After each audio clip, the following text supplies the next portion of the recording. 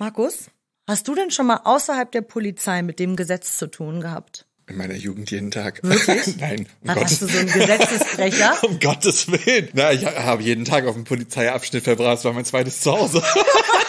um einfach zu gucken, Präsenz zu zeigen. Das ist Ja, ja, wichtig natürlich. in unserem Beruf. Ne? Das war ja schon immer so, dass ich mir gedachte, ja, zur Polizei früh präsent sein. Hier Mhm. bin ich schon mal früh anmelden. Nein, das einzige Mal habe ich ein Praktikum bei der Polizei gemacht. Das war ja auch alle Hast du Bekanntschaft. wirklich ich- mal ein Praktikum bei der Polizei Ja. gemacht als Schüler? Ja, Und es war nicht abschreckend. nee. Ladies and Gentlemen. ich, wo- Da ich, hätte- kam unser Debüt. ich wollte eigentlich jetzt so fragen, und Markus, hast du, brauchtest du schon mal einen Rechtsanwalt? Nein, habe ich äh, noch So. nicht gebraucht. Aber wenn du jetzt einen bräuchtest, beziehungsweise eine Rechtsanwältin brauchen würdest, wovon Dann- wir natürlich nicht ausgehen, weil du bist ja Natürlich jetzt nicht, aber dann wüsste ich wen. Wir begrüßen heute unseren Gast Nicole BD. Hallo Nicole. Hallo, ihr Lieben. Nicole, magst du dich mal vorstellen? Ja, hast du ja gerade schon gemacht. ich heiße Nicole BD, ich bin Anwältin, ausschließlich auf dem Bereich des Strafrechts tätig. Mittlerweile so lange, dass ich die Zahlen nicht sagen werde. Oh, das heißt, Markus, wir müssen richtig aufpassen, ne? Weil wir mit unserem gefährlichen Halbwissen in Strafrecht Das wird alles vor wir Gericht nachher. über zwei Semester aneignen. Nee, wir sind ganz fit in Strafrecht. Ja, absolut. Dann seid Ähm, ihr besser als die meisten in eurem Haus. das, Ich liebe die Folge jetzt schon.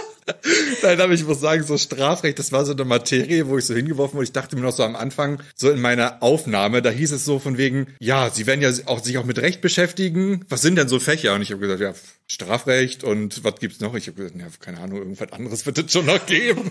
so, ich war ja so richtig fit im Rechtsgebiet. Und ja, als dann Strafrecht kam, naja, da war ich am Ende froh, dass da ein grüner Haken hinter war. Und dann, ähm, Tell me more, Markus. Ähm, bei mir war ein rotes äh, F hinter Strafrecht. Das hatte aber nicht nur Gründe, weil meine Leistungen jetzt irgendwie so grottenschlecht waren. Es lag vielleicht auch an anderen Personen. Aber gut, das ist dann hier VSNFD. Aber im zweiten Versuch hat es dann glimpflich geklappt. Und Nicole, du sagst, dein Schwerpunkt ist Strafrecht, ja? Wie hast du denn mit uns regelmäßig, also jetzt nicht mit Markus und mir, sondern mit der Behörde, hast du überhaupt regelmäßig mit der Behörde zu tun? Na klar, ja, mehr oder weniger fast tagtäglich. Polizei ist ja immer involviert in Strafverfahren. Meistens in der Akte erst, so an sich nur ab und an, halt in OK-Fällen oder wenn du mal ein Tötungsdelikt hast und bei Vernehmungen dabei bist, also alles, wo Anwälte dabei sein müssen und die Polizei sich auch dran hält, in Anführungsstrichen, dann hast du damit zu tun und dann spätestens vor Gericht, wenn du dann nochmal die Polizei als Zeugen vernehmen darfst. Und darfst du, was ist so, jetzt sagst du, du bist im Strafrecht äh, hauptsächlich unterwegs. Wir möchten hier gar kein Name-Dropping machen oder sowas, aber hast du äh, im Strafrecht nochmal einen Schwerpunkt? Hast du ein bestimmtes Klientel, das du vertrittst oder hast du durch die Bank weg alles durch? Eigentlich mache ich schon durch die Bank alles durch, aber du hast halt hauptsächlich, würde ich sagen, Drogendelikte, Sexualdelikte und tatsächlich mache ich auch viel Mord und Totschlag. Ah, wirklich, ja?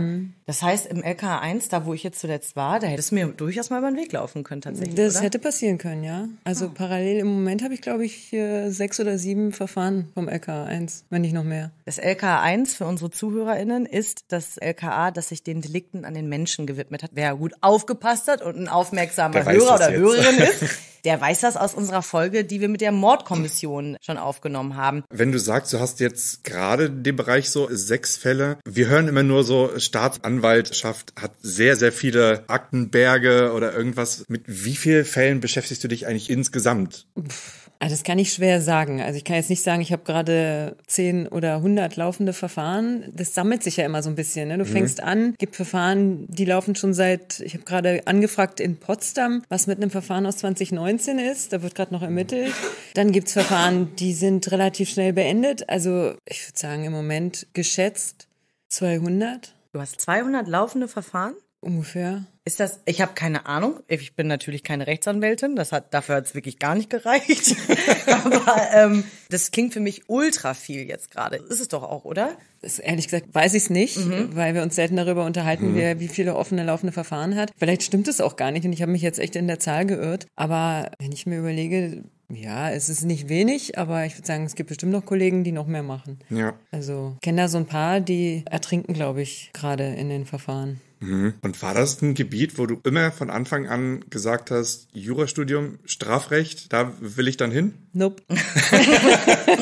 Nein. Nee, also ehrlich gesagt hatte ich überhaupt keinen Plan, was ich mal werden will und habe dann nach dem Abi überlegt, was ich machen soll. Eigentlich wollte ich Gerichtsmedizinerin werden. Mein Abi reichte aber leider nicht für den Numerus Clausus damals in Medizin. Und dann hatte ich überlegt, BWL, das wollte ich dann auch nicht machen, weil Mathe nicht so mein Steckenpferd ist. Und dann habe ich gedacht, komm, studier Jura, damit kannst du alles machen. Und das Letzte, was ich werden wollte, war Anwältin. Und ich wollte auch garantiert kein Strafrecht machen, weil das im Studium wirklich eins der schlimmsten Fächer ist, weil es so vielschichtig ist und du so unglaublich viel schreiben musst, dass du auch in den Klausuren weder im ersten noch im zweiten Staatsexamen überhaupt fertig wirst. Ich höre ja immer unsere Referendare, die sind wirklich völlig verzweifelt, wie viel Thema, wie viel Seiten und sowas im Strafrecht äh, geschrieben werden müssen. Also da hast du schon einen Sachverhalt von 28 Seiten, den musst du dann lesen, um dann in drei Stunden das Ganze fertig zu kriegen. Das ist wirklich schwer. Das ist so geil, weil wenn ich an unsere Strafrechtsklausuren denke, ne, anderthalb Seiten und A haut B meistens einfach irgendwie auf den Kopf und dann nimmt er noch irgendwas weg und dann muss man gucken, ob das ein Diebstahl oder ein Betrug war. Irgendwas muss man immer voneinander abgrenzen, aus dem allgemeinen Teil einen Versuch vielleicht noch reinkloppen oder dann straffreier Rücktritt und sowas. Und wenn du jetzt sagst, 28 Fälle, drei Stunden Zeit, wir haben 28 Seiten. Also du hast dann wirklich, in, du hast halt eine Strafanzeige Äh, meine zum ich, ja. Beispiel, dann hast du eine Durchsuchung, dann hast du keinen Durchsuchungsbeschluss, sondern nur ein Telefonat mit dem Pförtner im Gericht Ja. oder was auch immer. Und dann musst du halt gucken, was gibt's da alles drin. Wie Ja. lange geht diese Prüfung? Fünf Stunden. aber überleg Also wir mal. haben schon vier Stunden und sind Stunden schon am für Limit. eine Seite und, oder anderthalb Seiten Ja. Fall. Und ich weiß noch, wie ich dachte, mir fällt gleich die Hand ab beim ja, Schreiben. da hat sich mal für die Toilette gereicht. Ich dachte mir, da ist keine Zeit eigentlich für irgendwas. Es ist, äh, also dieses Studium ist sowieso so ein bisschen überdenkenswert, finde ich, weil du viel zu viel Dinge machst, die du in deiner Praxis überhaupt nicht gebrauchen kannst. Mhm. Und im Strafrecht ist es halt einfach viel zu viel zum Schreiben. Meine Schwester studiert gerade Jura im zweiten Semester und ist erfolgreich durch manche Prüfungen durch, manche nicht so. Und das ist Willkommen im Club. Aber, ja, aber sie, sie wuselt sich da auch gerade durch und sie sagt auch, es ist viel, jetzt schon. Ich glaube, sie hat nicht mal das erste Semester abgeschlossen, ne? Und ist jetzt schon, dass sie so sagt so, huiuiui. Mein Vater, der denkt sich auch, was habe ich denn da für Töchter in die Welt gesetzt? Ne? Die eine wird eine wird Polizistin, die andere wird, ja, was sie auch mal werden möchte dann mit dem Jurastudium, das weiß sie nämlich auch noch nicht so genau. Wolltest was sagen? Ich bin immer wieder unfreundlicherweise ins Wort gefallen. Ja, äh, das ist nicht schlimm, aber wir hatten ja immer so bei uns im Studium, dass gesagt wird, alles was Jura betrifft, diese ganzen großen drei Prüfungen, die wir da haben, das sind so ja unsere Horrorsemester gewesen. Ja, da das sind Strafrecht, Strafprozessordnung oder Strafprozessrecht und Polizei- und Ordnungsrecht. Endgegner Polizei- und Ordnungsrecht. Leute, ich sag euch eins, egal ob neue Studienordnung oder nicht, setzt euch rechtzeitig hin und macht das. Seid nicht so geisteskrank wie ich. Wirklich. sagt jeder zu Anfang und man denkt ja immer nur, ja, die paar Definitionen, klar. Und wenn du nachher so die stapelweise Lernkarten dann da hast, was du da irgendwie wissen sollst, das ist äh, Ja. utopisch. Da will ich gar nicht wissen, was ihr bücherweise da. Das ist total utopisch und wir haben ja auch so viel Gesetze und so viel Verordnungen und Beiwerk und oh, ja, egal. Hauptsache durch, wenn du dann fertig bist, kannst du damit auch nichts mehr anfangen. Deshalb ist es am Ende auch egal. Ich wollte ja. gerade sagen, du, wahrscheinlich, du sitzt ja doch jetzt nicht, wenn du jetzt auch jemanden vertrittst und definierst die ganze Zeit im Kopf, oder? Natürlich, natürlich nicht. Und wenn du jetzt fertig bist, du hast ja mit dem zweiten Staatsexamen die sogenannte Befähigung zum Richteramt. Das heißt aber noch lange nicht, dass du dich morgen hinsetzt und sagen kannst, okay, ich bin Richter, ich weiß, was ich mache. Weil kein Mensch bringt dir zum Beispiel bei, was so ein Richter im Dezernat machen muss. Was macht er denn, der so eine Akte auf den Tisch kriegt? Oder als Anwalt, was mache ich jetzt? Ich kriege einen Fall, da kommt ein Mandant und sagt, äh, hallo, ich habe keine Ahnung, gestern drei Kilo Kokain äh, von A nach B getragen und die Polizei hat mich aufgehalten. Was mache ich denn jetzt? Und dann sitzt man als Student oder als junger Anwalt, Student natürlich nicht, da und denkt sich, ja, schön. Und nu?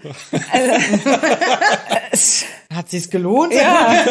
Was mache ich denn jetzt? Das, das lernt man im Studium nicht. Das lernst du auch nicht im Referendariat. Also je nachdem, wo du bist, ein bisschen mehr oder ein bisschen weniger. Sollte man Strafverteidigung machen wollen, macht es Sinn, ein Referendariat beim Strafverteidiger zu machen. Aber das ist so wie, wenn du fertig bist und gehst zur Polizei und wirst dann da Direktor. Na, dann sagen alle Polizisten, was will der Klopskopf da mit seinem Jurastudium? Was will der uns erzählen? Naja, das ist so. Ich find's großartig. Nee, ich, ja, das, äh, ich stammel schon vor lauter Aufregung. Das sagen wir ja auch immer, ne? Und das habe ich jetzt auch, ich habe ja mein Feedbackgespräch jetzt auch vor kurzem gehabt für mein zweites Praktikum im LK1. Und dann hieß es auch so, alles, was du jetzt in diesen sechs Wochen gelernt hast, das vergisst du jetzt in den nächsten halben Jahr. Im besten Fall bleibt ein bisschen was hängen und im besten Fall ist es so, dass wenn du jetzt quasi dann rauskommst nächstes Jahr, dass du dich daran erinnerst, ach, das habe ich schon mal gemacht und jetzt da nicht ganz unbefleckt sitzt, sondern die richtige Ausbildungszeit geht los, wenn du, also bei uns heißt es dann aktiv in den Dienst gehst. Und im besten Fall bist du dann auch bereit, irgendwie Lernstoff aufzunehmen und denkst auch nicht, dass du King of Kotlet bist und dass du alles schon kannst, sondern sagst, okay, ich bin jetzt hier immer noch ganz klein und fange an, das alles jetzt irgendwie zu lernen. Ja, das hast du ja immer. Also ich meine, ich mache den Job jetzt wirklich lange und du hast immer mal Akten oder Sachen, wo du denkst, oh Gott, was mache ich denn jetzt? Oder das ist mir noch nie vorgekommen. Dann gehst du auch zum Kollegen und sagst, pass auf, ich habe hier den und den Fall, was würdest du jetzt machen? Du kannst nicht alles wissen. Ja, es geht gar nicht. Die einen machen es eben besser oder die anderen sind besser vernetzt und die anderen machen es dann nicht oder wie auch immer. Also ich glaube, das ist in jedem Job so. Ja. Ich würde jetzt nicht von mir behaupten, dass ich die SCPU auswendig kenne oder keine Fehler mache oder in jeder Akte sofort weiß, was ich zu tun und zu lassen habe. Bist du eher, also ich, ich weiß es nicht, ich habe es jetzt immer nur zwischendurch auch mitbekommen in den Praktika, dass natürlich irgendwie, wenn ich einen Beschuldigten oder eine Beschuldigte vorgeladen habe, dass es dann hieß, nee, da kommt jetzt, ich brauche einen Pflichtverteidiger oder sowas. Ne? Du bist wahrscheinlich, wirst du auch als Pflichtverteidigerin rangezogen oder kommen die Leute aktiv auf dich zu und sagen, hier, Sie kriegen jetzt mein Mandat und vertreten Sie mich bitte? Na, beides. Also dieses Wort Pflichtverteidiger ist ja so ein bisschen immer negativ belastet, weil du Menschen hast, die Fernsehen gucken, amerikanisches Recht sehen und sagen, ah, ein Pflichtverteidiger. Ein Pflichtverteidiger hat keine Ahnung und macht nur, was man von ihm erwartet. So ist es ja in Deutschland nicht. Du hast halt im Gesetz, 140 StPO, steht halt, wann ein Anwalt gebraucht wird. Also zum Beispiel, wenn Verbrechensvorwürfe da sind, für die, die keine Ahnung haben, was der Unterschied ist. Verbrechen ist halt das, was das Gesetz mit einer Mindestfreiheitsstrafe von einem Jahr bedroht. Alles andere sind Vergehen. Oder wenn es beim Schöffengericht hängt oder beim Landgericht, dann muss halt ein Anwalt dabei sein. So. Wenn du keinen hast, dann ordnet das Gericht eben einen bei und es sind dann natürlich, das hängt dann von den Richtern ab. Es gibt Richter, die ordnen Anwälte bei, die sogenannte, wir sagen immer so ein bisschen Exekutionsbegleitung sind, also die praktisch den Mandanten dazu bringen zu gestehen, damit es bloß schnell geht und der Richter sie wieder beiordnet. Und dann gibt's Anwälte, die dann auch genauso arbeiten, als hättest du ihnen 10.000 Euro auf den Tisch gelegt. Und insofern kriegen wir auch Beiordnung, na klar. Jetzt habe ich das mal verstanden. Ich habe ja sechs Wochen da gearbeitet. Jetzt habe ich, Nicole, hätte ich mal eher mit dir gesprochen. Na, aber ich dachte mal, Pflichtverteidiger wirklich, das ist jetzt so, man, das soll jetzt auch nicht doof klingen, ne? Aber der wird dir dann irgendwie gestellt, weil, ne, du hast jetzt gerade keinen Anwalt und kannst dir eventuell auch gegebenenfalls keinen leisten, was ja jetzt auch, ich habe mal gehört, Anwaltshonorare können auch sehr, sehr hoch sein. Definitiv. Ja? Und wenn du die Kohle nicht hast, dir, und vor allen Dingen, wie gesagt, jetzt im LK1, da ging es jetzt weniger um Vergehen, da ging es halt dann auch wirklich um schwere Verbrechen. Da, wenn du dir das nicht leisten kannst, was machst du denn dann, ne? Und Naja, normalerweise, gerade LK1 ist ja ein gutes Beispiel. Da sind dann immer Fälle, wo ein Anwalt eigentlich schon im Ermittlungsverfahren herangezogen werden muss. Da kommt dann der Beschuldigte, hat gerade, keine Ahnung, seinen Nachbarn umgebracht, soll vernommen werden und dann ist das LKA gehalten zu sagen, hier liegt ein Fall der notwendigen Verteidigung vor, Sie können sich jetzt einen Anwalt nehmen. Dann muss derjenige Zeit haben, mit dem Anwalt reden zu können. Wenn der jetzt gar keinen kennt, also nehmen wir mal an, da sitzt jetzt eine äh, bekannte Kiezgröße, der natürlich immer mit demselben Anwalt arbeitet, dann sagt er, hier habt ihr meinen Anwalt, ruft an. So, dann hat er meistens auch die Handynummer des Anwalts, weil er ja vorher schon genug bezahlt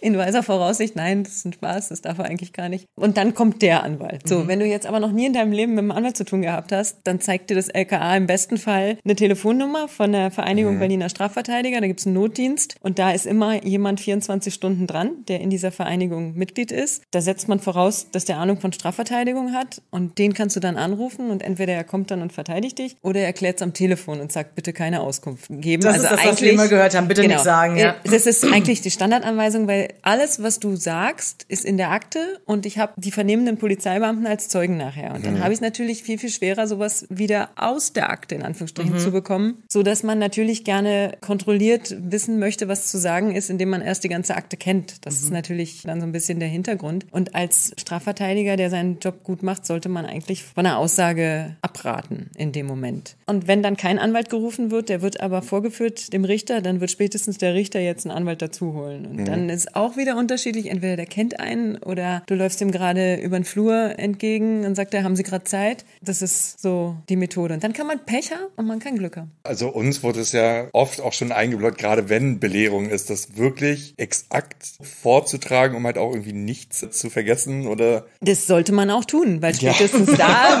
wird am Ende jeder Verteidiger sagen, äh, was haben Sie denn belehrt? Ja, und Ja, ja. je ausführlicher das in so einer Akte steht, umso besser natürlich. Der normale Mensch hat natürlich so ein Redebedürfnis. Und wenn die Polizei dann dasteht, dann hat man diese Autorität. Wenn da jetzt nicht gerade ein äh, gewiefter Serienkiller sitzt, dann möchte der natürlich sich entschuldigen. Ich verstehe das aus Sicht der Polizei, ja. Ich würde das genauso machen. Aber aus unserer Sicht ist es natürlich insofern ein bisschen, ja, wie soll ich es freundlich formulieren? Äh, Mach einfach, das ist das, das ist das Konzept des Podcasts, Nicole. Mach's einfach. ja gut, also für uns ist es natürlich total unschön, weil wir dann was in der Akte haben, was wir nicht mehr wegkriegen. Punkt. Und da gibt's halt Mandanten, die sind nicht so eloquent und haben überhaupt keinen Überblick, was sie da reden. Ja, aber das weißt du ja auch gar nicht. Ne? Also gerade so zum Beispiel, wenn du nur ein versuchtes Tötungsdelikt hast, hast du ja ganz oft Rücktritte. So ein Rücktritt ist ja gar nicht so einfach. Aber wenn der Mandant mir den Weg zum Rücktritt schon versaut, durch irgendeine nicht so schlaue Einlassung, ist natürlich doof. 1-0 für die Polizei, Glückwunsch. Aber das ist jetzt die Frage, wie man Strafprozess definiert. Ne? Es Ja. sollte ja ein faires Verfahren sein. Aber nochmal, das ist jetzt wirklich, es ist Manöverkritik. Die machen das schon trotzdem korrekt. Ja, Die belehren, das machen die immer. Dass es dann manchmal dazu kommt, dass die Mandanten reden wollen, ist dann äh, Pech für uns. Ja, aber wie du schon mal gesagt Ganz kurz, hast. Markus, Ja. das ist alles, aber wir müssen, wir wissen jetzt, was Nicole gerade meint, wenn sie sagt, ein Rücktritt und bestimmt ich, viele Crime-Podcast-HörerInnen wissen das auch. Okay, ja. Aber es gibt die Möglichkeit, also Nicole, du bist die Anwältin, mach du das mal bitte, bevor ich hier mit meinen Das machen wir hier Jura-Leit und Anleitung zum Tötungsdelikt. Also, liebe Zuhörer, bitte nicht nachmachen, weil der Zufall spielt leider immer so eine Rolle, den können wir hier nicht ausschalten. Also, nehmen wir mal an, ich habe jetzt Lust, dich zu erstechen und ich steche einmal zu und du guckst mich groß an und sagst, spinnst du, was machst du da? Drehst dich um und willst telefonieren und ich denke mir, ach komm, es reicht. Ein Stich reicht, die lebt ja noch, ich gehe jetzt raus. Dann ist das definitiv ein Rücktritt vom versuchten Tötungsdelikt, weil ich könnte ja noch zweimal zustechen, du lebst ja noch. Und ich sehe es ja auch. Das ist jetzt ein sehr plakativer Fall. So wurde mir das nie erklärt. es wäre so viel einfacher Siehst du, man gewesen. muss immer einfach plakative Fälle nehmen, die jeder versteht. Aber es gibt halt wirklich Fälle, wo es ganz schwierig ist. Also ich weiß, dass mein Kollege gerade in einem Verfahren äh, verteidigt hat. Das war ein Unterbringungsverfahren. Das sind Verfahren, wo diejenigen psychisch krank sind und in dem Fall schuldunfähig. Und die Konstellation war sehr spannend. Da gab es zwei versuchte Tötungsdelikte und angeklagt wurde ein doppelter versuchter Mord und am Ende war es dann doch nur eine gefährliche Körperverletzung durch einen Rücktritt den wir eigentlich gleich in der Akte gesehen haben. Die Staatsanwaltschaft sah es am Anfang anders, aber es war halt sehr, sehr kompliziert.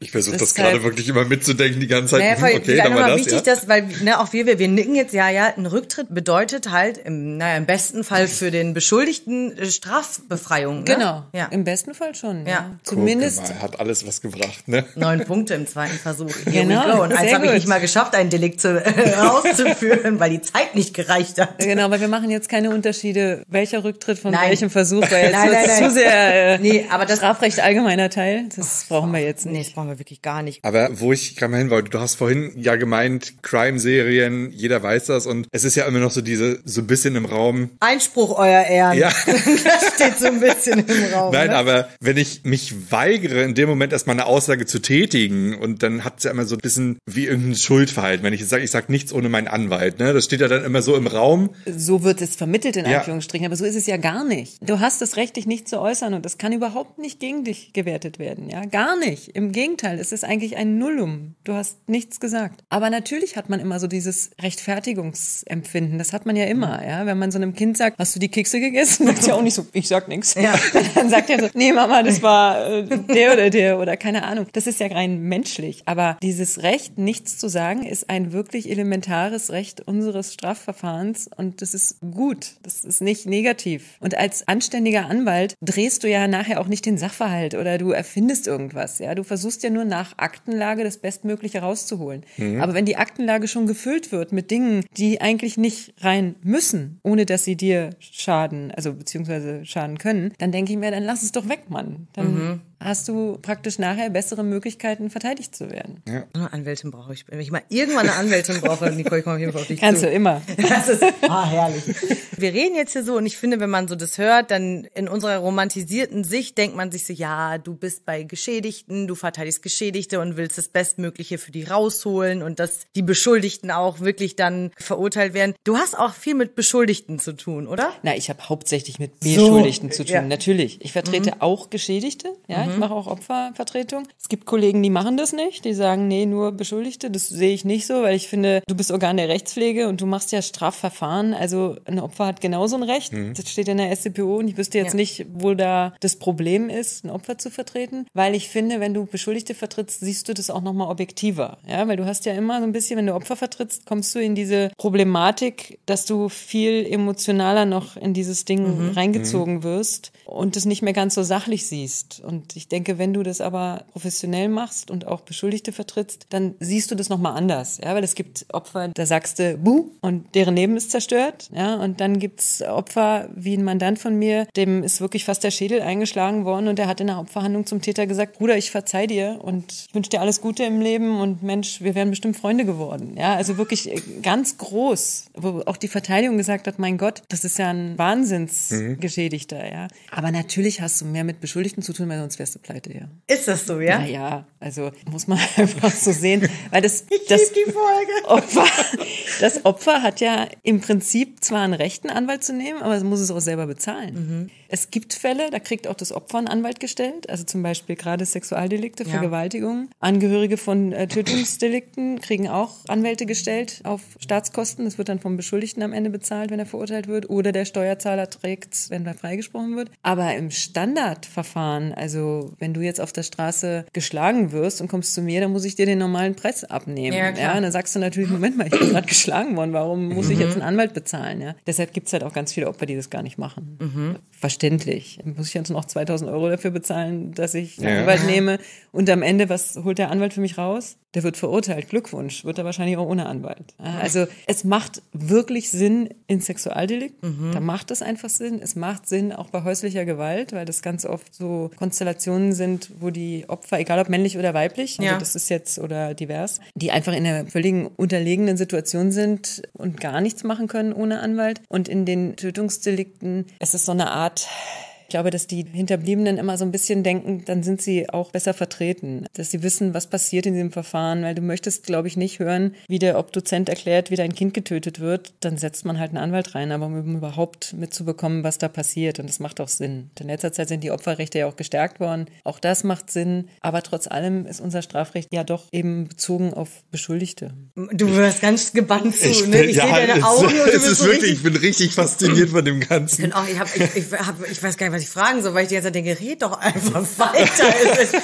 Es, ist, super spannend. Ich frage mich, wie ist es so? Oft hast du ja bestimmt auch Fälle, wo du sagst, hm, ja, ist es dir suspekt bei der Geschichte, die derjenige dann erzählt, dass du sagst von wegen, hm, ich bin nicht immer überzeugt unbedingt von deiner Unschuld. Wie ist da für dich so ein Zwiespalt, der da irgendwie entsteht? Weißt du, worauf ich hinaus Ja, möchte? ja, irgendwie die so? Standardfrage, wie kannst du nur? Wie kannst du jemanden vertreten, der schuldig ist? Naja, das War das die Frage? Ja, ja, ja. ist ein bisschen, Also- ein bisschen schon, ne? Das Ja. kriegst du ja jeden Tag. Also egal, wo du bist, auf einer Party oder in der Kneipe oder was auch immer, kommt immer, wenn die Frage, was machst du für beruflich? Und ich sag Strafverteidigung, was? Wie geht das denn? Wie kommst du denn damit klar, dass du da so einen Mörder vertreten kannst? Ich sag dann immer erstens, ich vertrete nicht die Tat, sondern den Täter. Ja, das sind zwei unterschiedliche Dinge. Jeder Täter hat eine Mutter, einen Vater, Geschwister, eine Frau. Da hängt ganz viel dran. Jeder Fall hat eine Tiefe, die du gar nicht siehst. Ja, wir haben immer ganz viel, wo die Presse dann irgendwas schreibt. Dann denkt Otto Normalbürger draußen, ah, hängt ihn. Und am Ende sieht's ganz anders aus. So. Und dieses Strafverfahren sieht nun mal vor,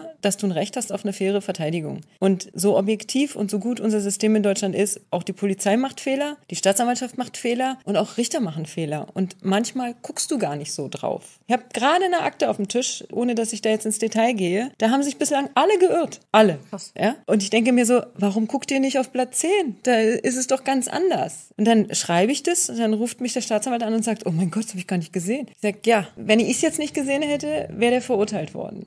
So ist jetzt das Verfahren eingestellt, weil da war gar nichts. Da waren wirklich komplette Sachen schiefgelaufen. Oder mein Lieblingsbeispiel ist mein eigentlich erster krasser Fall. Ich wollte auch nicht Strafverteidigung machen, ja. Fangen wir mal anders an. Ich habe mein Referendariat beim Strafrichter gemacht und fand damals so, oh, die Strafen sind mir viel zu gering. Da muss mehr draufgehauen werden. Ich will, dass die alle weg sind. So ein bisschen diese Meinung hatte ich auch. Und dann war ich fertig und dann gab es gerade keine Stellen für Richter und dann kam der Vater von der Freundin von mir, der war früher Oberstaatsanwalt und war selber Anwalt und hat gesagt, was willst du denn in dieses System gehen? Komm mal zu uns, machst du Strafverteidigung. Und ich so, was? Verteidigung? Nee, das will ich nicht. Das hat alles seine Berechtigung, das wirst du sehen, mach das mal. So, und dann kannte der wirklich alle beim Gericht und dann sind wir rumgelaufen und dann hat er gesagt, das ist jetzt hier unsere junge Kollegin, wir machen jetzt Strafverteidigung und dann bekam ich in dem ersten Monat meiner Zulassung zig Beiordnungen. Eine davon war eine Sache, da rief der Richter an und sagt, ja, passen Sie mal auf, wir haben in drei Wochen Verhandlung. Das darf man kaum sagen, aber na gut. Er hat das so am Telefon bezeichnet, dass ich sofort wusste, worum es ging, nämlich sexueller Missbrauch eines Kindes. Dann habe ich gedacht, oh, will ich das verteidigen? Sagt er,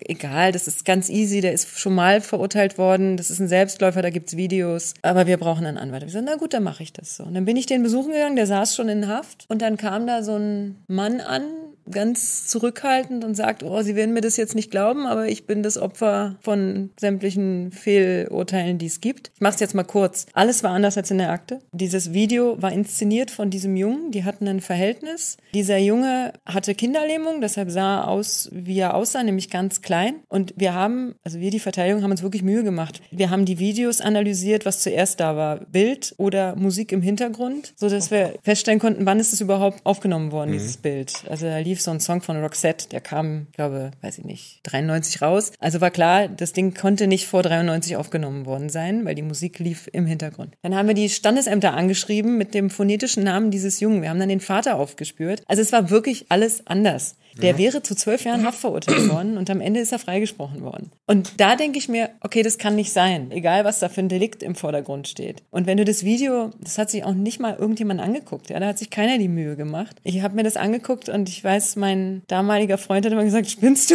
was machst du da? Ich sage, na, ich guck mir das an, guck bitte nicht hin, weil das ist meine Sache. Sagt er, ja, aber du kannst dir doch nicht, doch kann ich, ich muss. Das war einfach so ein Ding, wo ich danach gesagt habe, okay, gibt eben Sachen, die laufen anders als es laufen sollte. Da konnte vielleicht gar keiner was für für. Aber insofern macht es auch einen Sinn, dass es Verteidiger gibt. Egal, wie schuldig oder nicht schuldig, ja. Klingt halt eigentlich wie eine richtig krasse Ermittlungsarbeit seitens der Polizei, ne? also die du da gemacht hast. Das ist ja, ja habe ich, ja. Aber die Mühe musst du dir noch erstmal machen. Und da kommt dann wieder dieses Pflichtverteidiger. Mhm. Jeder normale Pflichtverteidiger hätte gesagt, mache ich nicht. Das Arbeit kriege ich ja kaum Geld für. Warum? Ist ein Selbstläufer. Aber ich war halt jung, dachte, oh gut, dann mache ich das jetzt mal. Mhm. Und war ja dann am Ende zurecht. Deshalb kann ich nur an alle Pflichtverteidiger dieser Erde appellieren. Macht euren Job genauso, als würdet ihr Geld bekommen, weil da stehen Menschenleben hinter. Ich glaube halt, das ist das Ding, ne? Wenn du, na, wenn du so ein, guck mal, direkt am Anfang deiner Karriere so einen Fall hast, der dir natürlich, also es ist ja eigentlich auch ein Glückstreffer tatsächlich dann, ne? Der dir gar nicht erst die Möglichkeit lässt, abgestumpft zu sein, so von Anfang an, zu sagen, oh, wieder eine Pflichtverteidigung, wieder dies, wieder das. Ich krieg, bin jetzt eine junge Anwältin und ich kriege irgendwie nur so Selbstläufer, wie du selbst gesagt hast, oder irgendwelche Pflichtverteidigungen jetzt aufgedrückt, sondern du hast da einen Fall und ist direkt, ist ja ein Riesenerfolg für dich dann direkt am Anfang gewesen, oder? Ja. Naja, muss man doch mal auch mal so selbst loben. Kannst du das ja ruhig mal so sagen. Na klar, aber das ist wieder eine Frage der Betrachtung, ne? Weil zum Beispiel die Zuschauer fanden das gar nicht witzig, ja? Die haben sind dann raus und es ist so, doch Gemauschel, die Verteidigung wurde doch bezahlt, so nach dem Motto, ja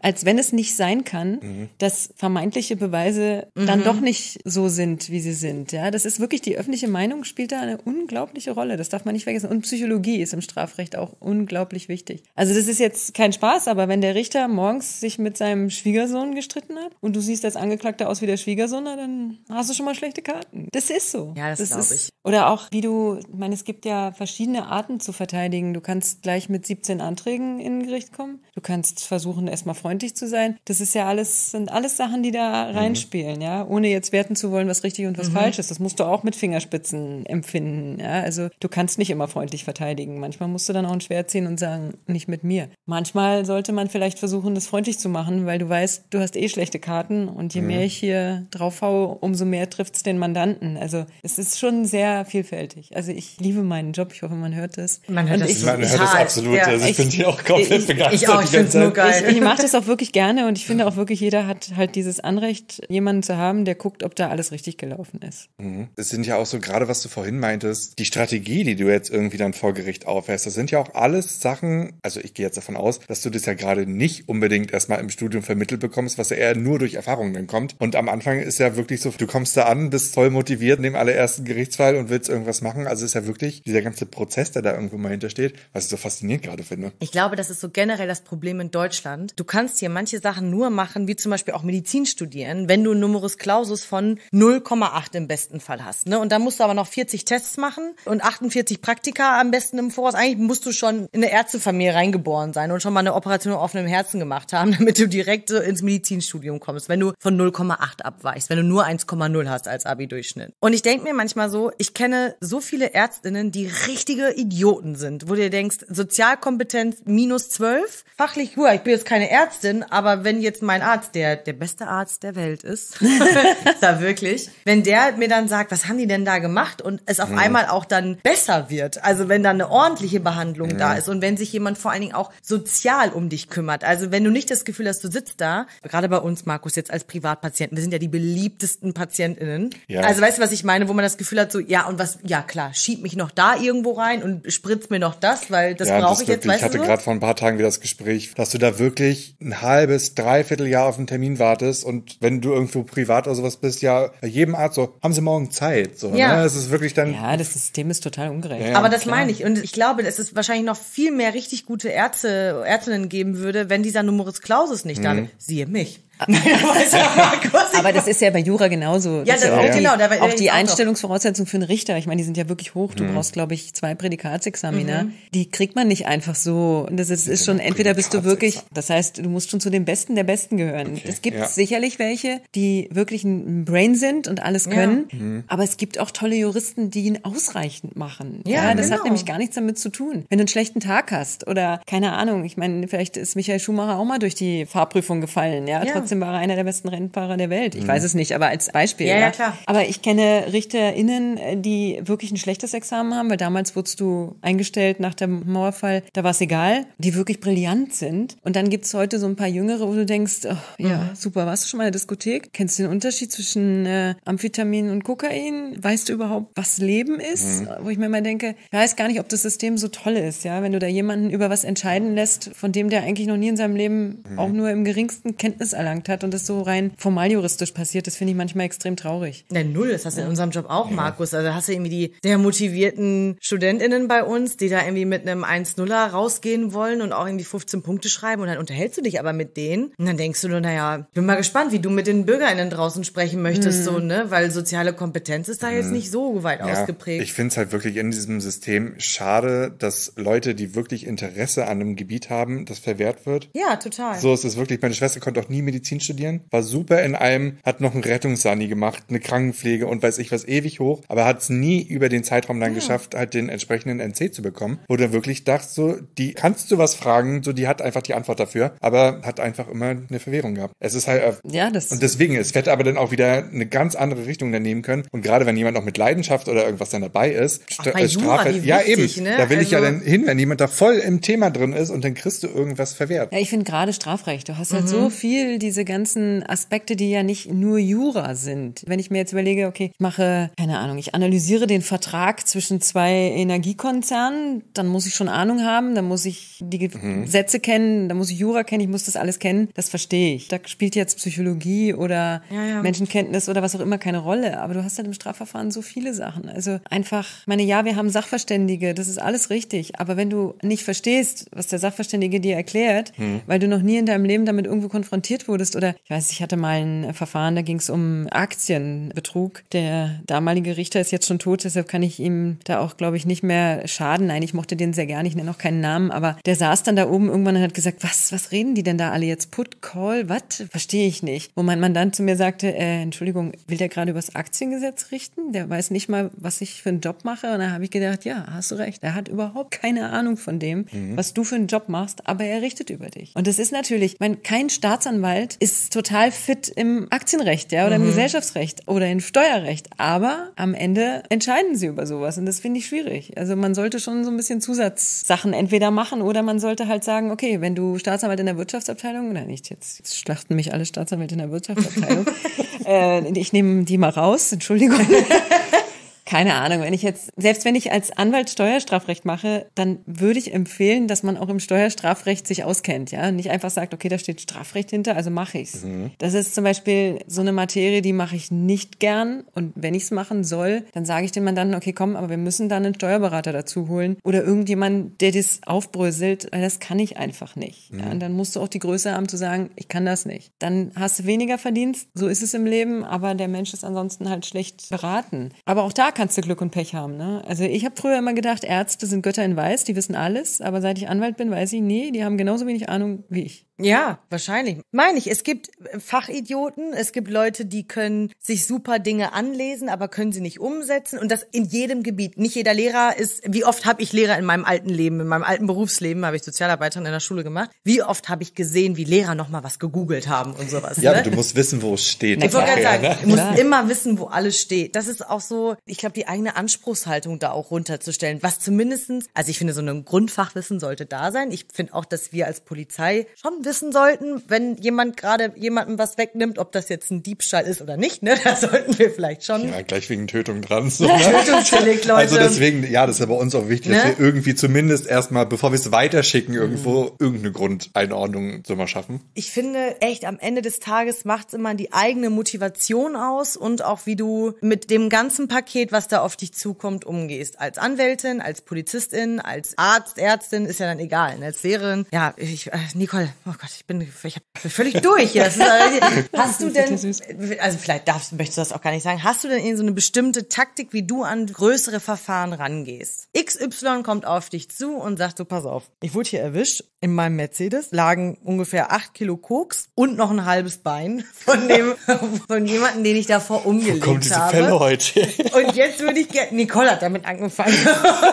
ich nehme nur den Vibe an. Und er sagt, und ich war das auch. Ja. Und was machen wir jetzt, Frau BD? Naja, gut. Also du hast ja als Angeklagter oder Beschuldigter das Recht zu lügen. Das habe ich nicht. Ich darf als Verteidiger nicht lügen. Das heißt, es ist nicht immer schlau, sich erzählen zu lassen, was da passiert ist. Das muss man sich gut überlegen.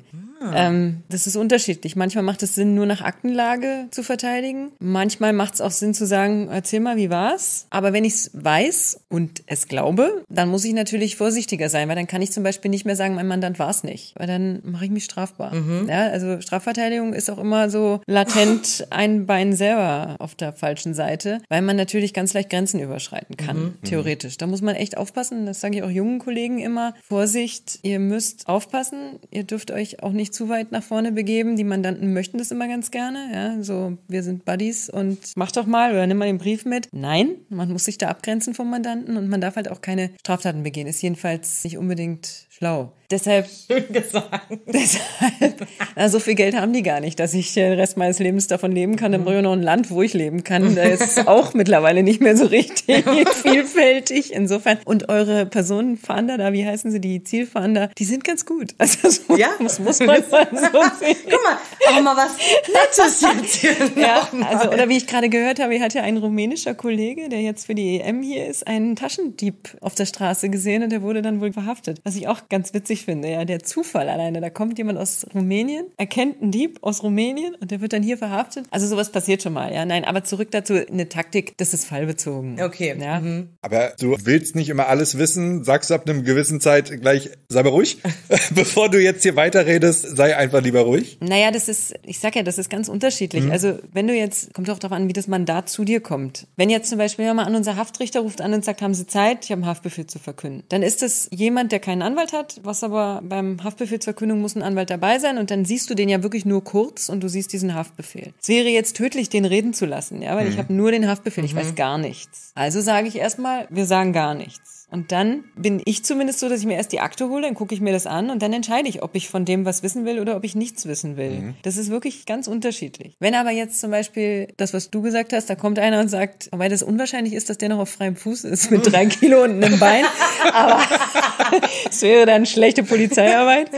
Aber sagen wir mal so, er ist noch nicht erwischt worden. Zum Beispiel, es gibt ja Fälle, wo jemand kommt und sagt, ich habe gestern jemanden umgebracht, was machen wir denn jetzt? Ja? Dann solltest du als Anwalt nicht sagen, wir verstecken jetzt. Ja? Bist du da entspannt? Ist so, ist so, ist, bäh. ist sowas schon mal Na passiert? klar, alles schon passiert. Und dann, ich, Ich hatte auch schon mal einen Mandanten, der hat mir eine Knarre auf den Tisch gelegt. Wo ich gesagt habe, äh, oh, schönen guten Tag. und dann Was soll denn das jetzt hier, ja? Ja, die müssen sie jetzt hier behalten, weil ich kann die doch nicht mit mir rumtragen. Ich so, aber ich soll die jetzt Aber hier bei mir im Büro. behalten. Geht's noch? Ja. Also da, es gibt schon die kuriosesten Geschichten, na klar. Wie entspannt du da bist.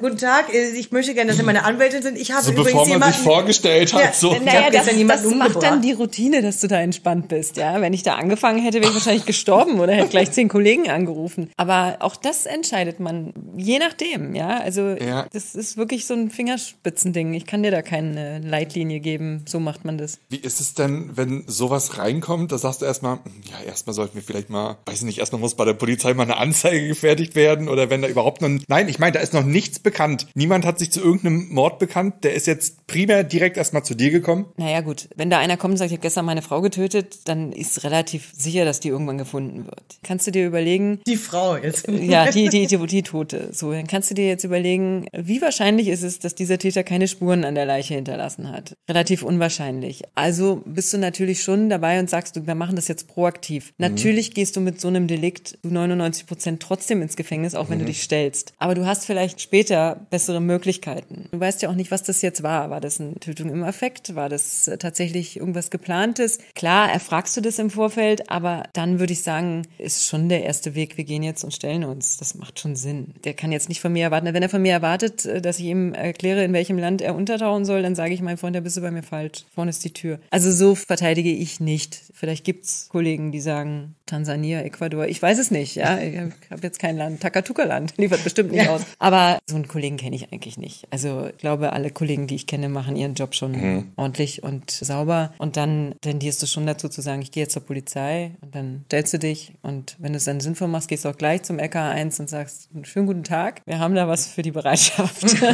Das ist auch so abstrus gerade alles. Wieso? Was ist, was, was ist abstrus? Also allein schon, wie jemand dann zu dir kommt und so sagt, ja, hallo, ich habe hier Ja, einen absurd. Genau, wenn du da im Dienst sitzt, so völlig unerwartet klopft unten so an der Tür und sagt, hallo. Ich bin mit meiner hier bin Anwältin ich. her. Ich würde gerne anzeigen, dass ich ähm, habe gestern jemanden umgelegt. Äh, Jetzt nach dem, was du alles erzählt hast, stelle ich die Frage trotzdem: Gibt es etwas, das du gar nicht verteidigst vor Gericht? Gibt es ein Delikt, wo du sagst, ne, das mache ich auf gar keinen Fall? Ja, grundsätzlich eigentlich nicht. Was ich jetzt, ich überlege gerade, ob ich es schon mal einmal habe ich es verteidigt. Das hatte aber damit zu tun, dass ich den Beschuldigten kannte und ich mir nicht wirklich vorstellen konnte, dass dieser Vorwurf zutrifft. Aber Terrorismus mache ich eigentlich nicht.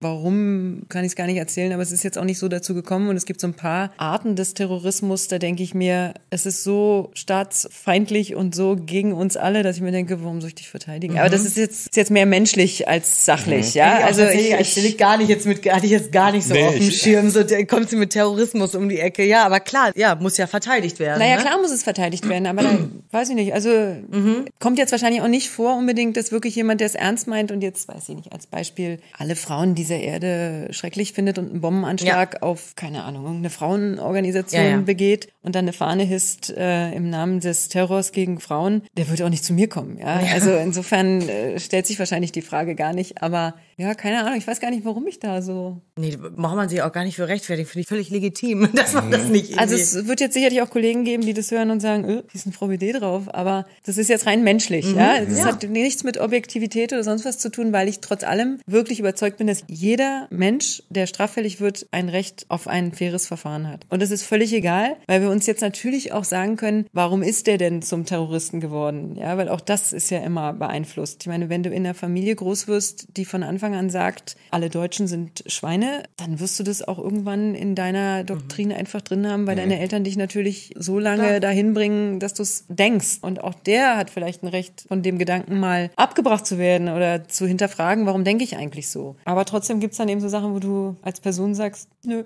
Aber überhaupt, was mir gerade mal vorhin mit dem Pflichtverteidiger, das muss man sich dafür noch bereit erklären? Also um erstmal auf diese Gemeinschaftsliste da irgendwo zu kommen? Oder Na, kann so eine Gemeinschaftsliste. Also es gibt so eine Liste, auch bei der Anwaltskammer, aber ich weiß gar nicht, ob da je einer drauf guckt. Also, hm.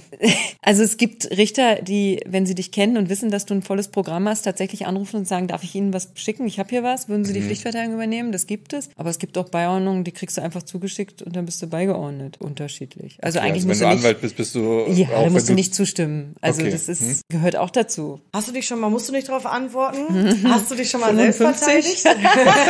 Natürlich. Ist das, ist das klug? Ich habe auch schon mal einen Anwalt gebraucht. Nein, es ist nicht klug, sich selbst zu verteidigen. Nein, nein, nein. Also du kriegst auch als Anwalt manchmal Stress. Also sei es im Straßenverkehr, es geht ja ganz schnell, Ja, ja. Und mir wurde auch schon mal vorgeworfen, dass ich was eingebracht hätte ins Gefängnis, weil irgendein Bekannter von einem Mandanten dem eins reinwürgen wollte und meinte, mich da mit reinziehen zu müssen. Da denkst du so, danke fürs Gespräch. Da konnte ich mich natürlich exkulpieren, aber sowas passiert schon mal. Und dann wird man auch als Anwalt zum normalen Menschen und denkt sich, oh, oh Gott, oh Gott, was wollen die jetzt von mir? Ja? Und da kommt dann genau das, was ich vorhin gesagt habe, dass man im ersten Moment, wenn die Polizei am Telefon ist und sagt, schönen guten Tag, sind Sie die und die, Ihnen wird das und das vorgeworfen, dass du dann überlegst und denkst, was? Nein, habe ich gar nicht gemacht. Ja. Und dann kommst du in diesen Modus, Nee, ich Moment, bin ja Anwalt. stopp, ich bin Anwalt. Stopp, stopp, stopp, stopp, stopp, ich weiß es besser, ich weiß es besser. ich Genau, was steht auf meiner Homepage? Du sagst jetzt nichts. Also das ist, das trifft einen dann auch. Ja, so oft war es jetzt nicht. Ja, Ja, waren nein, jetzt auch keine gut, dramatischen Delikte, aber ich weiß, ich hatte mal so ein Verkehrsdelikt, das war wirklich witzig. Da rief dann tatsächlich die Polizei an und sagte so, Sie haben da jemanden ohne Führerschein fahren lassen. Und ich so, what? Konnte ich mir überhaupt nicht erklären.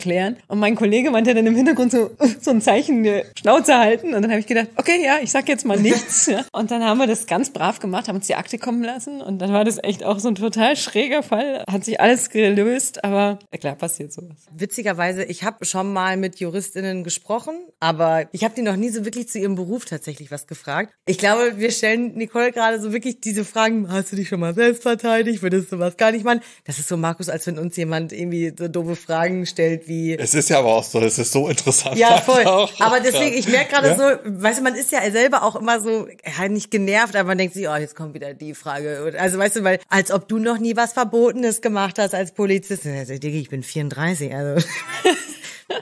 Ende, so, ne? Aber, Ich mache jetzt auch die Bewegung aus dem Hintergrund. Aber es heißt ja auch nicht, dass du deinen Job schlechter machst, wenn du mal Nein. selber was gemacht hast, was dem widerspricht. Ja, ich Ja. finde ja eigentlich, das macht dich ja dann auch eigentlich so ein bisschen befähigter, ja. Ich habe einen Mandanten, der saß jahrelang im Knast, der hilft jetzt jungen Männern, keine Straftaten zu begehen. Und der macht das total toll. Der geht mit denen in die JVA Tegel, der steht davor und sagt, pass auf, da kommst du hin, wenn du das und das machst. Ich habe mein Leben wirklich verkackt damit. Ich habe alles falsch gemacht. Und alleine die Tatsache, dass das keiner sagt, der überhaupt noch nie dieses Ding von innen gesehen hat, ist einfach so beeindruckend. Ja, weil natürlich lasse ich mir lieber was von jemandem sagen, der es schon mal erlebt hat, als von, keine Ahnung, jetzt das Beispiel einem Lehrer, der sagt, du darfst nicht das und das machen. Ja, klar. Mhm. Quatsch weiter. Ja, voll. Und das finde ich auch mal ganz witzig, wenn so zum Beispiel Jugendliche bei uns sitzen oder dann die Eltern sitzen und sagen, sagen Sie denen mal, dass man das nicht machen darf. Und ich mir denke, boah, Mann, ist das jetzt erzieherisch wertvoll? Es gibt Dinge, die macht man einfach. Die haben wir alle gemacht. Ja, wo ich mir so denke, ey, hast du noch nie geklaut? Oder hast du noch nie in deinem Leben irgendwie irgendwas gemacht, was nicht in Ordnung ist? Glückwunsch. Aber langweilige Jugend. ja, also ich glaube, ich wäre definitiv im Knast gelandet, wenn ich ein Junge geworden wäre. Also und, und wenn man im Straßenverkehr machen könnte, was man darf, dann würde ich heute noch im Knast landen. Ja. Du auch vorhin, Markus. Also, du auch vorhin, als du du gesagt hast, jetzt, äh, Markus, aber das muss ich mal verteidigen, als deine Verteidigerin ist, Markus. Du hast Einspruch, ey. alles versucht, damit ich noch meine Currywurst kriege vor der. Aufnahme. Du hast wirklich alles versucht. Es gab letztens, hat ein Sachverständiger erzählt, fand ich total witzig. Es gibt einen psychiatrischen Test, da testest du so die Aggressionsbereitschaft. Dieser Test ist so mit verschiedenen Fragen. nicht. Das ist voll lustig. Der ist bei Strafverteidigern gemacht worden. Und der sagt, diese kriminelle Energie und diese Aggression, die darüber kam, da war ein Bild, also wie war das, ich das zusammen? Ein Comic, ein Straßenverkehr, irgendeiner nimmt dir die Vorfahrt oder überfährt dich halb oder fährt dir über den Fuß, genau, er fährt dir über den Fuß. Schreiben Sie, was Sie denken, ja. Und dann kam halt wirklich so Arschlochwichser, was soll das? Entschuldigung, Entschuldigung alle, jene, die zuhören, aber das ist ja das, was du in dem Moment denkst. Und das ist ja menschlich, dass du es aussprichst, ja. Da sitzt ja keiner im Auto und sagt so, okay, ich darf niemanden beleidigen, deshalb sage ich jetzt Entschuldigung, sind mir gerade über den Fuß gefahren. Das tat sehr weh. Ja. Und wenn mir dann nachher einer sagt, ja, aber sie hätten sich anders benehmen müssen, denke ich so, ja, okay, willkommen in der realen Welt. Ich verstehe schon die Ursprünge, wo das gerne manchmal herkommt, aber ich denke dann auch mal irgendwie so, ja, ey, wir sind alle, alle vergreifen sich mal im Ton, alle machen mal irgendwie irgendetwas, das nicht korrekt ist. Ja, und eben aus diesen Fehlern lernt man ja auch eben, dass du es vielleicht dann nicht unbedingt machen solltest. Ja, das sollte man ja auch nicht. Ja, das ist Immer über den jetzt, Fuß fahren. Ja. nee, das sollte man nicht tun. Man sollte auch niemanden äh, beleidigen und schlagen, aber es passieren halt manchmal Dinge, ja. Und Mhm. dann brauchst du halt einen Anwalt und der erklärt dann, warum es passiert ist und dann ist es hoffentlich wieder gut. Für alles weitere kontaktieren Genau. Sie Nicole bitte. Ja, eben. Ja, beim Fußfahren, da hab ich, ich war selber so dumm und habe mich das Auto selber mir über die Beine fahren lassen. Scheuer, wann hast du das denn gemacht? Na, ich war Kind und ich dachte, naja, man sitzt im Auto. Die andere Person, die da mit im Auto war, ich nenne jetzt niemanden beim Namen, War war kurz Kind. nicht im Auto und musste was abholen. Ich saß dann alleine kurz im Auto und dachte, naja, hier sind ja schöne Knöpfe und Schalter zum Spielen und man kann ja halt, wenn man so auf halber Höhe am Berg steht, naja, die Kupplung halt einfach mal so, ne? Also den Gang rausnehmen. Naja, das Auto rollte los und als Kind denkst du natürlich, ich bin Hulk, ne? Ich mach die Tür auf, ich halte das Auto auf, so. bin, ja, von der Tür dann einfach umgerissen worden und lag dann unterm Auto und, ähm, ja, das Loch ist immer noch heute da im Zaun. Ja, das hat erst so, ich dachte irgendwo bei dir im Fuß, das hättest du Nein, auch richtig verdient. also gefühlt waren es Gummiknochen, das Auto ist ohne Probleme über meine Beine drüber gerollt, es hat höllisch wehgetan, weil da überall Steine waren und weiß, es war nicht toll, aber naja, aus Fehlern lernt man. Armes Häschen. Mein Gott. Ja, Nicole, Selbsterfahrung. Lisa. Hast du ähm, auch so, ich finde, du wirkst es jetzt auch so. Wir sehen dich ja, unsere ZuhörerInnen sehen dich ja leider nicht, was ich sehr schade finde tatsächlich. ähm, Was immer das heißt. Nee, nee, weil du sehr, ich finde, du bist eine sehr lässige und tough wirkende Frau und das meine ich absolut positiv. Das finde ich ganz großartig. Ich kann mir gut vorstellen, dass du extrem gut bei auch so, jetzt nennen wir sie mal bei Leuten ankommst. Du hast doch bestimmt auch mit Menschen, also Ver Verbrechern oder Beschuldigten zu tun, die eher jetzt so nicht so die zierlichen kleinen Mäuschen sind, oder? Sondern die, oder? Hast du im Bereich OK schon mal was gemacht? Okay, alles klar. Wenn du willst, sprechen wir da nicht drüber. Wenn, also wir keine Namen. klar, natürlich. Ja, wir nennen keine Namen. Hast du einen Draht zu denen bestimmt, oder? Ich denke schon. Ja, das glaube ich auch. Ja, ich, also mit dem einen oder anderen ist man auch tatsächlich dann irgendwann, also ich habe einen Ex-Mandanten, mit dem bin ich mittlerweile nicht Usus, aber mit dem bin ich echt befreundet. Ja. Den habe ich auch sehr gern und das könntest du ja gar nicht, wenn du nicht trotzdem einen Draht hast, weil der ist Ja. jetzt nicht studiert und läuft den ganzen Tag rum und drückt sich gewählt aus, sondern er ist halt einer von den harten Jungs von früher, Mhm. aber ist ein total toller Typ und der hat jetzt auch ein Buch rausgebracht. Ich meine Werbung nebenbei, nein, aber ähm, da komme ich so, keine nein, nein, keine nein, ich Namen. mache keinen Nebenprofi überhaupt nicht, aber da komme ich, da komme ich auch selbst drin vor und den, den habe ich wirklich gern. Nein, eigentlich habe ich kein Problem mit meinen Mandanten. Das kann ich mir sehr gut vorstellen. Wenn ich eine Anwältin jemals brauche, Ich habe jetzt auch voll Vertrauen. Ja, würde das sofort, sofort machen. Also ich stehe jetzt nicht vor deiner Tür und sage, ich habe mir jetzt einen Mord begangen. Ihr, ihr Ich hättet, hoffe es, Markus. ich, das hoffe ich auch, weil ihr habt ja noch ein Problem. Ne? Ja. Ihr seid Polizeibeamte, da geht's auch Also mal wenn ganz schnell irgendeiner um von uns im Job. Podcast fehlt, dann Ich ermittle nicht, Markus. Ich, Das ermi- ich bin befangen. Ich bin befangen in diesem Fall. Ich werde nicht ermitteln. Hast du vielleicht Lust, über dieses Wissen? Wir planen ja viele Dinge und wir planen ja auch eine größere Runde. Mhm. Und ich fände das sehr schön, wenn du Lust hättest, da hinzuzukommen. Und wenn du jetzt Nein sagst, ist auch okay, weil dann können wir das auch schneiden. Äh, du, äh, mir macht es ja Spaß, ja. Ja. Ich mache das ja auch gerne. Ist ja auch, habe schon den einen oder anderen Podcast gemacht und finde es ja auch immer cool, wenn man es den Menschen mal rüberbringen kann aus einer anderen Art und Weise. Und ja, nee, sehr gerne. Und Weihnachtsspecial, Nicole. ich wollte gerade sagen, wenn nicht da, dann zum Ja, Weihnachtsfest. bei Weihnachtsspecial, da gibt es Glühwein. Ja, da gibt's Glühwein. Und danach fahren wir nicht mit dem Auto Wir nach fahren Hause. nicht, nee, der Gruppenwagen, den wir weihnachtlich schmücken, der bleibt stehen dann natürlich. Fußkralle und allem drum und dran. So, der wird bleibt nicht alles bewegt. stehen und da würden wir uns sehr freuen. Markus, ich habe gar keine Fragen mehr, weil Ich ich, bin ja, wie gesagt, ich- also bin auch völlig ja. überwältigt noch und ich habe noch ein paar Fragen, aber die frage ich alle, wenn das Mikrofon aus ist. Nein, also es war, also es hat mir privat jetzt, also von meiner Meinung aus, so viel Spaß gemacht, Ja. dass du da warst. Also ich bin die ganze Zeit sprachlos dabei, irgendwie Ja, ich finde zuzuhören. auch ultra gut. Vielen Dank. Aber Also- ihr seid, ihr seid auch wirklich, also ihr seid, ihr macht das ganz toll und ihr seid natürlich ja eigentlich nicht der Prototyp des Polizeibeamten, den man erwartet. Deshalb finde ich das ganz großartig, dass die Polizei sich repräsentieren lässt von Menschen, die eben nicht diesem, oh, wie sage ich's, typischen uniformierten, ganz straighten Polizeibeamten vorstellen, der immer sich genauso gewählt ausdrückt wie der Anwalt, den sich der normale Bürger vorstellt. Boah, das lassen wir auf jeden Fall drin, Markus, weil das geht runter wie warme sagen, Butter. ja, das, ähm, Vielen lieben Dank, das ist ganz herrlich. Markus, ich habe nichts mehr zu sagen. Ich Ich, bin wunschlos nicht. glücklich, Ja. wirklich. Ist das schön? Ich habe die Polizei glücklich gemacht. Passiert selten. Nein, also ich habe jetzt eine Anlaufstelle für alles, was mir im Leben passieren Ja, sollte. Und ja, ich kann nichts ergänzen. Nicole, vielen lieben Dank, dass du unser Gast warst. Ich und danke euch, dass ihr mich eingeladen habt. Sehr gerne. Und wir sehen uns hoffentlich wieder hier in diesem Rahmen und noch viel größer. Und wir würden jetzt den Feierabend einläuten, oder Markus? Wir müssen mal eine Glocke oder irgendwas holen, so ein kleines. Markus, wir seit einem Jahr erzählen wir, was wir nicht alles müssen hier. Du bist doch unsere Masterin auf Geräusche. So. Musst du mal so. Nein, ich stimmt. Ich wollte eigentlich noch singen oder sowas. Ja, ne? ja, nee, Aber das nichts. lassen wir. Damit verabschieden wir uns. Tschüss, bis zum nächsten Mal. Bis dahin, ciao.